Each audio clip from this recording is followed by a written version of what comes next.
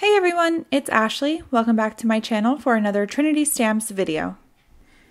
Today we are going to be making a glowing moon scene with some of the new images in the brand new silhouette stamp from the newest release for Trinity Stamps. This stamp set is so beautiful and so versatile. You could stamp these in any color to make a really fun uh, card, or like I will today, just stamping them in black to make a silhouette card. First, we're going to have to create our glowing moon scene. So we're going to be using lots of different Copic colors for this. I'm using BG10, B00, B21, B05, B24, B29, and then finally B39. To begin the scene, what I'm going to do is start by cutting out with an X-Acto knife this snowy hill or bank that I'll be using as the ground for my scene. I want the glowing moon to be right in the center of my scene, as it would be if you were to see a silhouette. They would normally be with the light right behind them. So I'm going to make the light source or the moon right in the center of the scene. So what I want to do is put the snowbank on the card and sort of make this really, really light trace of where I think I want my moon to be. I'm going to go over this with Copic markers, but I do want to let you know that if you put any type of pressure on with that pencil, you're not going to be able to erase the pencil marks after you put the Copic on there. So you have to make sure that that pencil uh, mark is so, so super light that you can barely see it. So my first color is going to be BG10. And this with this basically we're just going to make an outline of where the moon is going to be. My moon is actually going to end up being quite a bit smaller than what you see here because of all the blending that's going to go on and how what it takes in blending to create this glowing moon.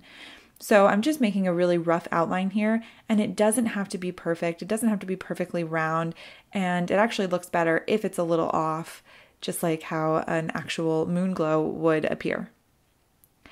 I go ahead and speed this up a lot because it does take quite a while. This is not the hardest technique to do, but it is very tedious. You have to keep going back in with that lighter color from before and blending. That really is the name of the game to this technique. So we started with BG10 and then we went in with B00.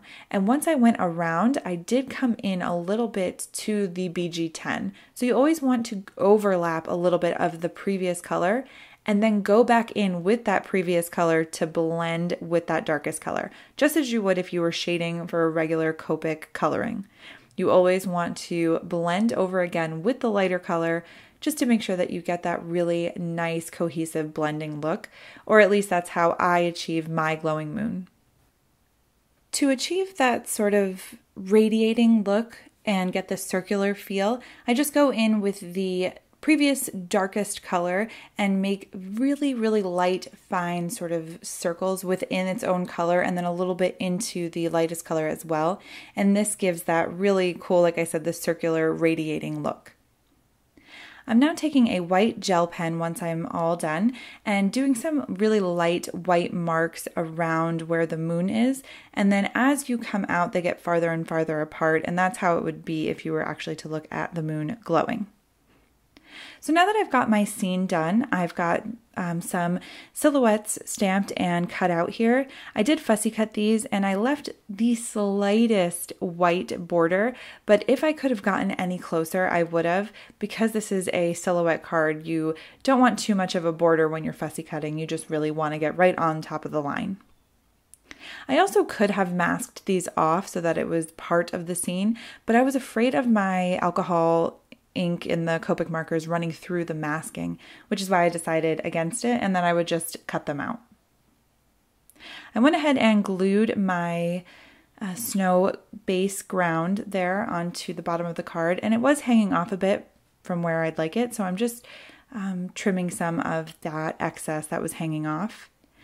And to add some of the depth and shadow into the snow to make it look as if the uh, moon is reflecting off of the snow, I am using B00 and then BG10 just to blend that out a bit.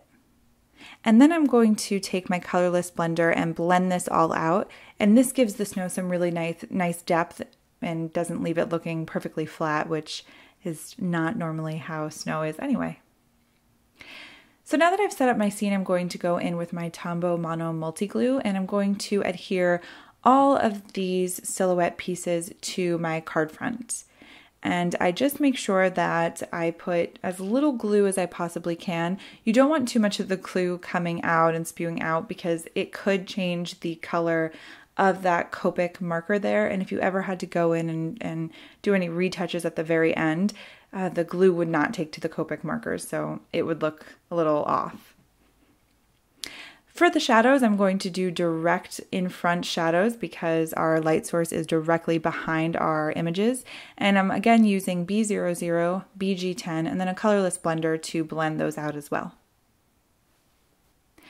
And looking back, I think that I probably could have used a cool gray color rather than a blue color for my shadows, but I didn't want it to take over the snow and make it look muddy or murky.